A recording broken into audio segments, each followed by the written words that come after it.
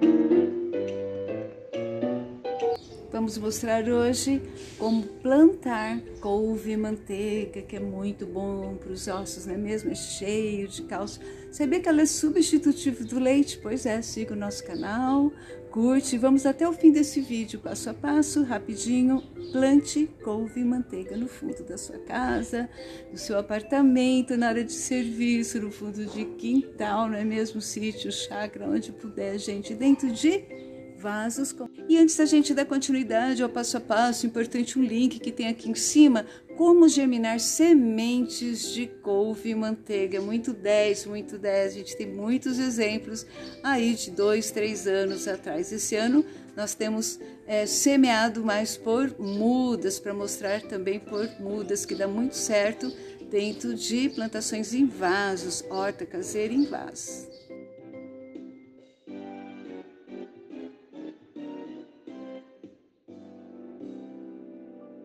Terra secou bem.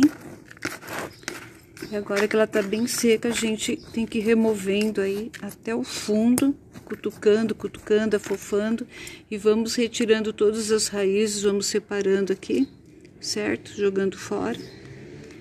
Tudo que não for legal, a gente vai retirar. Eu não tenho peneira, eu não uso peneira, então é tudo aqui na mão.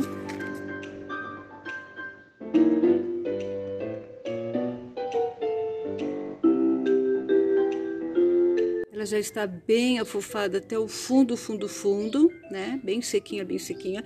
E vou misturar com esse restante aqui de terra, né? É uma terra assim vegetal, como essa daqui também. Ela tá mais seca, essa aqui tá mais úmida, com um pouco de adubo e folhas secas. E vou completar mais com uma mão, olha, aí, né? De adubo e jogar, misturar com essa outra terra agora aqui. Vamos retirando. Ali como tem a manta de bidim, a gente deixa o bidim e vai jogando a terra aqui dentro. Agora então é misturar bem, né, para a gente poder plantar uma nova muda aqui de couve manteiga. Vai até o fundo, revira.